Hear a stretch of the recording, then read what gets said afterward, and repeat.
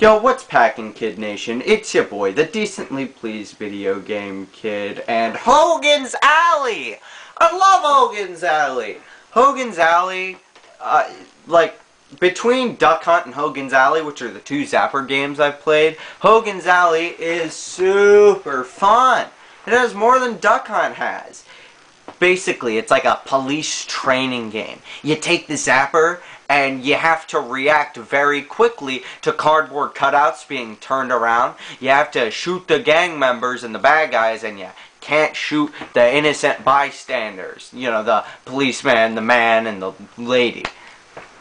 Oh man, so fun! Also, the gang characters are literally named Gang A, Gang B, and Gang C.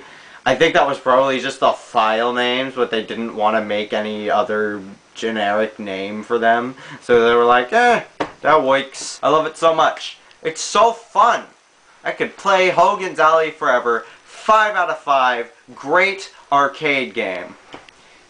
Also versus Hogan's Alley. Man, there are a lot of parallels between these black box games, huh? If you'll remember, Wrecking Crew's roots can be found in the 1984 arcade game for the Versus system. Yeah, so that was pretty cool to learn, uh, that there was indeed a Versus Hogan's Alley. Um, I haven't played Versus Hogan's Alley. I want to, though, because I love Hogan's Alley so much. It is on the Wii U eShop. I highly recommend buying it. In fact, you should probably buy Duck Hunt and Wild Gunman, too, because, I mean, aside from the Wii U eShop, I don't think that, uh, the Zapper games are going to be preserved in any other medium. You get the Versus systems, the NES ports, and then the Wii U Virtual Console. That's that's where we get to play the Zapper games, which is unfortunate. That that is